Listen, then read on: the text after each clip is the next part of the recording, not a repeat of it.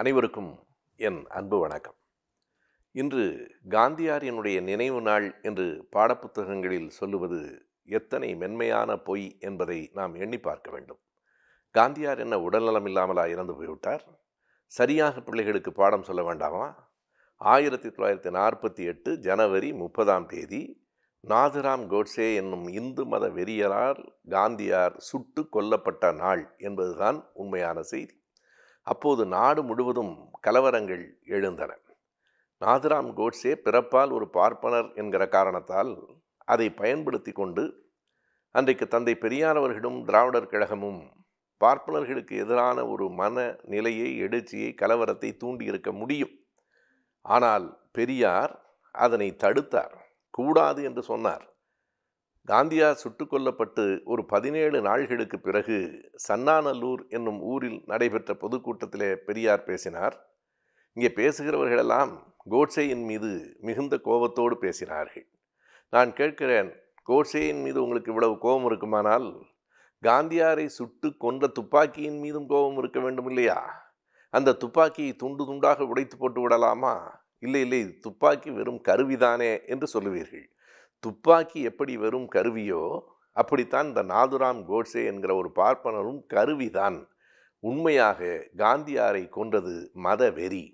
மனங்களில் இருக்கிற மத வெறியை அகற்றுவதுதான் எதிர்காலத்திலாவது காந்தியார்களை நம்மால் காப்பாற்றுவதற்கான ஒரே வழி என்று எழக்கூடிய கலவரத்தை கூட அடக்கி எங்கேயும் யார் மீதும் தனிப்பட்ட பகை வந்துவிடக்கூடாது என்று பார்த்த மிகப்பெரிய மாமனிதர் தந்தை பெரியார் அவர்கள்.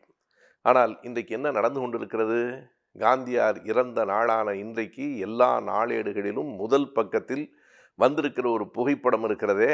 காந்தியார் மறுபடியும் மறுபடியும் கொல்லப்பட்டு கொண்டிருக்கிறார் என்பதைத்தானே அது காட்டுகிறது.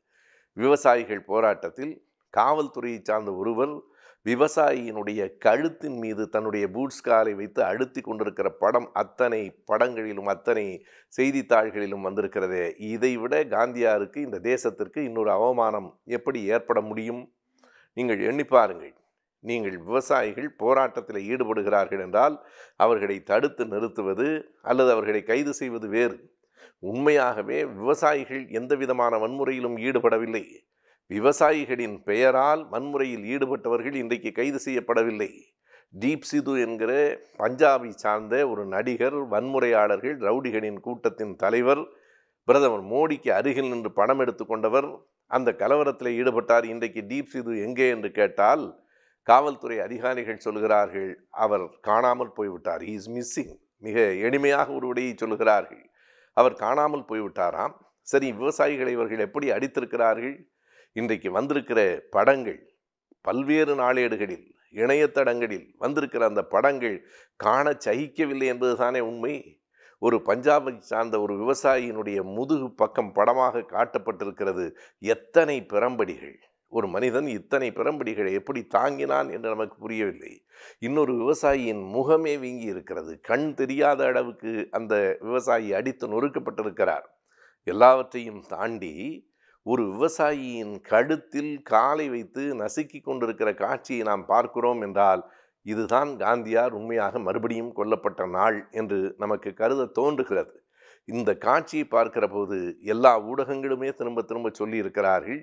கடந்த ஆண்டு மே மாதம் இருபத்தி ஐந்தாம் தேதி அமெரிக்காவில் மினியா போலீஸ் என்கிற ஒரு ஊரில் ஜார்ஜ் பிளாய்ட் என்கிற ஒரு ஆப்பிரிக்க இளைஞன் கழுத்திலே கால் வைத்து ஒரு காவல்துறை அதிகாரியாலே கொல்லப்பட்ட அந்த காட்சியும் இந்த காட்சியும் ஏறத்தாழ ஒரே மாதிரி இருக்கிறது. அதனை எதிர்த்தும் கண்டித்தும் உலகம் முழுவதும் போராட்டங்கள் எழுந்தன. வெறும் அமெரிக்காவிலே மட்டுமில்லை ஐரோப்பா முழுவதும் போராட்டம் நடந்தது. அந்த இளைஞனுக்கு ஆதரவாகவா எதிர்ப்பாகவா என்பதல்ல. இது ஒரு மனித நேயமற்ற அராஜகமான சட்டத்திற்கு புறம்பான ஒரு செயல். எந்த சட்டம் ஒருவனின் கழுத்தில் கால் வைத்து கொல்லச் சொல்லுகிறது? அப்படி பூட்ஸ் காலால் கொண்டு கொண்டிருக்கிற காட்சியை தான் நான் பார்க்கிறோம். இங்கே இருக்கிற இந்த அரசு இங்கே இருக்கிற இந்த வழிமுறைகள் முழுக்க முழுக்க மனிதநேயமற்றனவாக இருக்கின்றன என்பதற்கு தில்லி விவசாயிகள் போராட்டத்தை தான் நாம் பார்க்க வேண்டும் என்பதில்லை ரஜீவ் கொலை வழக்கில் கடந்த முப்பது ஆண்டுகளாக குற்றம் சாட்டப்பட்டவர்கள் சிறையில் இருக்கிறார்கள். அவர்களை விடுதலை செய்ய வேண்டும் என்கிற கோரிக்கை தமிழ்நாடு முழுவதும் எழுந்திருக்கிறது. இரண்டாயிரத்தி பதினெட்டு செப்டம்பர் ஒன்பதாம் தேதி அன்று தமிழ்நாடு சட்டமன்றத்திலே ஒருமனதாக தீர்மானம் நிறைவேற்றப்பட்டு அவர்களை விடுதலை செய்ய வேண்டும். நூற்றி அறுபத்தி ஓராவது பிரிவின் கீழ் அவர்களை விடுதலை செய்கிற அதிகாரம் தமிழக அரசுக்கு இருக்கிறது. எனவே ஆளுநர் அதில் கையொப்பம் விட வேண்டும் என்று அந்த தீர்மானம் நிறைவேறி இரண்டரை ஆண்டுகள் ஆகின்றன. இரண்டரை ஆண்டுகளாக இன்று வரை ஒன்றும் நடக்கவே இல்லை. பிறகு பேரறிவாளன் வழக்கு தொடர்கிறார் அந்த வழக்கில் என்ன சொல்கிறார் என்றால் மீண்டும் மீண்டும் என்னுடைய விடுதலை தள்ளிக்கொண்டே போகிறது. எனவே என்னை விடுதலை செய்ய வேண்டும் என்று அவர் தொடுத்த வழக்கில் கடந்த இருபதாம் தேதி நீதிமன்றம் என்ன சொல்லி இருக்கிறது ஏன் ஆளுநர் இத்தனை காலம் தாமதப்படுத்துகிறார்? அதற்கு பிறகு இறுதியாக இன்னும் மூன்று நான்கு நாட்களுக்குள் ஆளுநர் தமிழக ஆளுநர் அதற்கு முடிவெடுக்க வேண்டும் என்று சொல்லி பத்து நாட்கள் ஆயிற்றே இரண்டு வாரத்துக்கு அந்த வழக்கை நீதிமன்றம் தள்ளி வைத்தது. மூன்று நான்கு நாள்கள் என்று சொல்லி பத்து நாள்கள் ஆயிற்று இவர்கள் சட்டம் ஒழுங்கு பற்றி பேசுகிறார்கள். நீதிமன்றத்தை மதிக்க வேண்டும் என்கிறார்கள். எத்தனை காலம்தான் நீங்கள் அவர்களை சிறையிலேயே வைத்திருப்பீர்கள்? முப்பது ஆண்டு காலம் இரண்டு ஆயுள் தண்டனையை விட அதிகம். அவர்களின் இளமை காலம் எல்லாம் வசந்தம் எல்லாம் எரிந்து போயிற்று. இன்னமும் நீங்கள் அவர்களை சிறையிலே வைத்திருப்பது என்ன நியாயம்? இன்றைக்கு முதலமைச்சர் போய் மறுபடியும் ஆளுநரை பார்க்கிறார். இது என்ன நாடகம் என்றே நமக்கு புரியவில்லை. இவர் அவரை பார்ப்பது அவர் இவரை பார்ப்பது பிறகு நீதிமன்றத்துக்கு போவது நீதிமன்றம் இங்கே இருந்து இங்கே வருவது. இந்த விளையாட்டு தொடர்ந்து நடந்து கொண்டிருக்கிறது. தமிழக மக்களின் கோரிக்கையை மிக அழுத்தமாக அத்தனை பேரினுடைய குரலாகவும் நாம் சொல்ல வேண்டும். பேரறிவாளன் உள்ளிட்ட எழுவரை விடுதலை செய்யுங்கள். அதுதான் தமிழர்களுக்கு செய்கிற மனித உரிமைக்கு செய்கிற நியாயமாக இருக்க முடியும். எந்த நியாயமும் இங்கே கிடைக்கவில்லை. மூட நம்பிக்கைகள் அறியாமைகள் வளர்ந்து கொண்டிருக்கின்றன. ஆந்திராவில் பாருங்கள் என்ன நடந்திருக்கிறது. பெற்றோரே இரண்டு பிள்ளைகளை தங்களின் இரண்டு மகள்களையும் எரித்து கொண்டிருக்கிறார்கள். அந்த பெற்றோர் அறியாதவர்களா? படிப்பறிவு இல்லாதவர்களா? ஏதும் அறியாத பாமரர்களா? அந்த பெண்களினுடைய தந்தை ஒரு கல்லூரியினுடைய துணை முதல்வர் தாய் ஒரு பள்ளியினுடைய ஆசிரியர். இவர்களிடம் படித்தால் அந்த பிள்ளைகள் எல்லாம் என்ன ஆவார்கள்? இரண்டு பேரும் என்ன முடிவுக்கு வருகிறார்கள்? தாங்கள் பெற்ற தங்களின் சொந்த மகள்கள் இரண்டு பேர் மீதும் தீய ஆவிகள் பற்றி கொண்டிருக்கின்றனவாம். அந்த தீய ஆவிகளை அந்த பிள்ளைகளை கொன்றால் அந்த ஆவிகள் போய்விடும். மறுபடியும் இந்த பிள்ளைகள் உயிர் தெழுவார்கள் என்று புருஷோத்தம் நாயுடு என்கிற ஒரு கல்லூரியினுடைய துணை முதல்வராக இருக்கிறவர் அப்படி முடிவெடுக்க அவருடைய மனைவி அதற்கு இசைந்து கொடுக்க பிள்ளைகளும் சரி என்று சொல்ல இப்படிப்பட்ட ஒரு அநாகரிகமான காட்டுமிராண்டித்தனமான ஒரு கொலை நிறைவேறி இருக்கிறது. அவர்கள் நம்புகிறார்கள். எப்படியும் கடவுள் மறுபடியும் அவர்களை உயிர்த்து எழுப்பி விடுவார் என்று. பக்தி இருக்கக்கூடாது என்று நாங்கள் சொல்லவில்லை. பக்தி என்பது உங்களினுடைய மன அமைதிக்காக இருக்குமானால் அது வேறு. ஆனால் பக்தியும் அறியாமையும் எந்த இடத்திற்கு நம்மை கொண்டு போய் சேர்க்கிறது என்பதற்கு இதைவிட இன்னொரு பெரிய அடையாளம் வேண்டுமா? இதற்கு பிறகும் மக்கள் இப்படி நரபலி கொடுப்பதை கூட பக்தி என்று கருதுகிற ஒரு சமூகத்தில் தான் நாம் வாழ்கிறோம். மக்கள் என்றல்ல அரசாங்கமே அப்படித்தானே இருக்கிறது? பாருங்கள் நாளைக்கு ஒரு கோயில் திறப்பு விழா நடக்க இருக்கிறது. எந்த இடத்துல அந்த கோயில் திறப்பு விழா? மதுரை மாவட்டம் திருமங்கலத்துக்கு அருகில் டி. குன்றத்தூர் என்கிற ஒரு ஊரில் ஒரு கோயில். என்ன கோயில்? அம்மா கோயில். எந்த அம்மா? ஜெயலலிதா. ஜெயலலிதாவுக்கு யார் அந்த கோயிலை கட்டுகிறார்கள்? அமைச்சராக இருக்கிற உதயகுமார் அந்த கோயிலை கட்டுகிறார். யார் திறக்கிறார்கள்? முதலமைச்சரும் துணை முதலமைச்சரும் போய் திறக்கிறார்கள். நான் கேட்கிறேன் ஜெயலலிதா ஒரு மிகப்பெரிய குற்றவியல் வழக்கில் தண்டிக்கப்பட்டவர். நீங்கள் அவருக்கு நினைவிடம் திறக்கிறீர்கள். நினைவிடம் திறக்கிற போது ஒரு அமைச்சர் பேசுகிறார். அம்மா இருந்திருந்தால் கூட இவ்வளவு பெரிய நினைவிடத்தை கட்டியிருக்க முடியாதுங்கிறார். இவர்களெல்லாம் வைத்துக்கொண்டு அம்மா இருந்திருந்தால் நினைவிடம் ஏன் கட்ட வேண்டும்?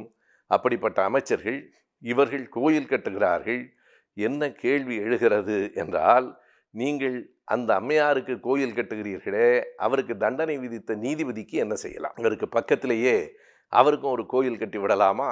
இரண்டும் சமமாகிவிடும். ஜெயலலிதாவுக்கு ஒரு கோயில் பக்கத்திலேயே நீதிபதி சின்ஹாவுக்கு அல்லது உச்சநீதிமன்ற நீதிபதிக்கு ஒரு கோயிலை கட்டிவிட்டால் இரண்டு கோயிலிலும் இந்த கோயிலிலும் வழிபட்டு விட்டு அந்த கோயிலுக்கும் போகலாம். நாம் இந்த நினைவிடங்களிலே கூட பார்த்தோம். ஜெயலலிதா அவர்களினுடைய நினைவிடத்தை திறப்பதற்காக ஆட்களை எல்லாம் ஏராளமாக கூட்டி கொண்டு வந்தார்கள். எல்லோரும் அந்த நினைவிடத்துக்கு போனார்கள். ஆனால் அதிமுக தலைவர்களே எதிர்பார்க்காத ஒரு நிகழ்ச்சி அங்கே நடைபெற்றது. என்ன என்றால் ஜெயலலிதாவினுடைய நினைவிடத்தை பார்க்க வந்த தொண்டர்கள் எல்லாம் சாறை சாறையாக தலைவர் கலைஞர் நினைவிடத்தையும் போய் பார்த்தார்கள். இவர்களெல்லாம் அங்கே போகக்கூடாது என்று சொல்லுகிற போது அவரும் நம்ம தலைவர் தானே என்று அந்த தொண்டர்கள் சொன்னபோது இது யாருக்கு எச்சரிக்கை தெரியுமா? தமிழ்நாட்டில் அதிமுகவை வைத்து திமுகவை அழித்து விடலாம் திமுகவை ஒட்டுமொத்தமாக இந்த நாட்டில் இல்லாமல் செய்து விடலாம் என்றெல்லாம் கனவு கண்டு கொண்டிருக்கிற பாரதிய ஜனதாக்காரர்களுக்கு இது ஒரு எச்சரிக்கை. பாருங்கள் ஜெயலலிதா நினைவிடத்துக்கு வந்தவர்கள் ஜெயலலிதாவின் எம்ஜிஆரின் நினைவிடங்களை பார்த்துவிட்டு போகாமல் மறுபடியும் தலைவர் கலைஞர் அவர்களின் நினைவிடத்தை பார்க்க போகிறார்கள் என்றால் உங்களுக்கு இந்த நாட்டில் வேலை இல்லை தமிழகத்தில் இந்த மண்ணில் நீங்கள் காலூன்ற முடியாது என்பதைத்தான் இது காட்டுகிறது. இந்த நிகழ்ச்சி மட்டுமில்லை திருவண்ணாமலையிலே நேற்றைக்கு திராவிட முன்னேற்றக் கழகத்தினுடைய தலைவர் தளபதி தொடங்கி இருக்கிற அந்த பயணமும் இனி உங்களுக்கு இந்த மண்ணில் இடமில்லை என்பதைத்தான் காட்டுகிறது. பல்லாயிரக்கணக்கான மக்கள் மனுக்களை கொண்டு வந்து கொடுக்கிறார்கள். இன்னமும் ஆட்சிக்கு வரவில்லை.